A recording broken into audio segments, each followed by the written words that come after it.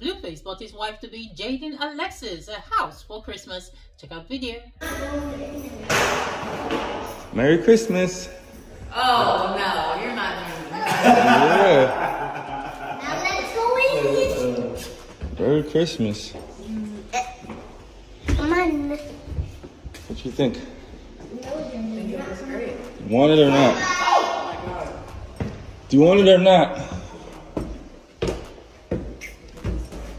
Huh? Do you want it or not? Yeah, it's mine. It's yours.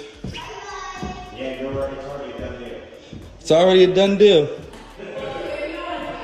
By the way, if you didn't know, I know I told you I was coming to show you, but I already signed you up, baby.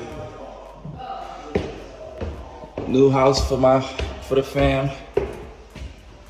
On behalf of Blueface, man. It's my Christmas present to Jaidyn Alexis. She deserves it. She's earned it. House damn near nicer than mine. Four stories with an elevator. Go crazy.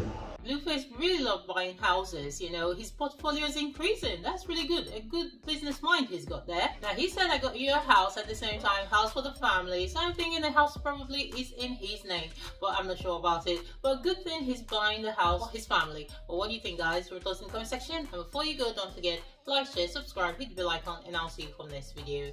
Bye.